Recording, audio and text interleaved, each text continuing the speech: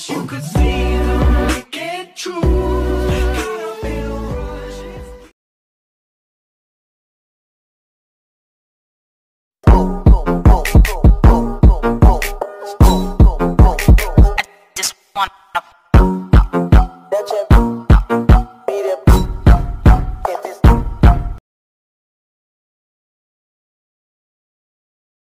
I mean, how can you possibly be this useless?